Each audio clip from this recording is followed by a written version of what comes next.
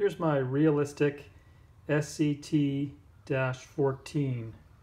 It's a top loading cassette deck and it's really small.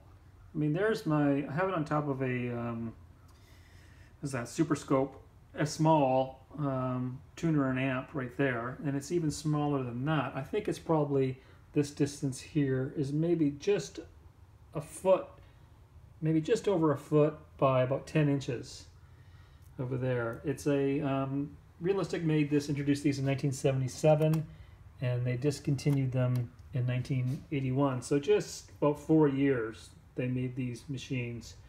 I, I like them because they're so small, and I like them because it has an output control here. Um, you have the ability to do Chrome or Dolby uh, filters or tapes or whatever you want to call those mechanisms that the cassette decks have, which is pretty cool. And there's VU meters for your left and your right, which is nice. This one here on my uh, left is a little bit problematic, but the right's working fine and the lights work fine. If you can see them coming up there, they're very, you know, they just have those lights on the side like that. This is just stuck. I'm sure I can fix that. Um, I just picked this up and it was covered, covered in gunk and paint. I don't know if you can still see some of these little white dots that are left and still some gunk in there you can see in, in here that I've got to get out. I just did an initial clean for a, uh, and opened it up and checked out the insides for the belts and whatever just to see what kind of condition this is in. And it's it's nice. I mean, I got a tape loaded in there right now and we'll play it. Whoop, I'll turn the power on first. Power the sucker up. There she be. Play it.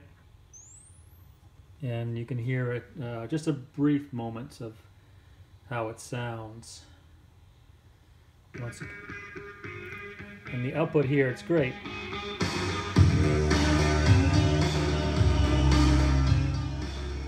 Nice and clean. Counter works. Everything is functioning properly except the VU meter there stuck, which probably won't be stuck in a little while. Um, but that's it. It's a nice, nice looking deck. Of course, this is all fake wood, and you know it's not real. It's plastic. Uh, but the insides are all nice and steel, very little plastic on the insides, and very well constructed. Realistic did a lot of that. They just found a way to make it affordable and also good. So they contracted out with lots of other companies, uh, Sansui, Pioneer, Hitachi, all these sort of respected companies were contracted to make the internals of these for uh, realistic, and they did a they did a fine job. They're kind of underappreciated because people see realistic and they think Radio Shack and they think uh, more domestic, uh, inexpensive, and not really great, which is not the right way to go about this. If it sounds good, and it does then that should be your benchmark. Well, thanks for watching.